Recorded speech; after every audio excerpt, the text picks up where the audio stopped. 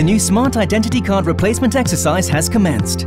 If you are holding an old form of ID card and were born in 1955 or 1956, you must replace your card at any replacement centre from September 24th to November 15th, 2019. You may book your appointment and fill in the form at smartid.gov.hk or in the mobile app. You can also use the new self-service facilities for registration and collection.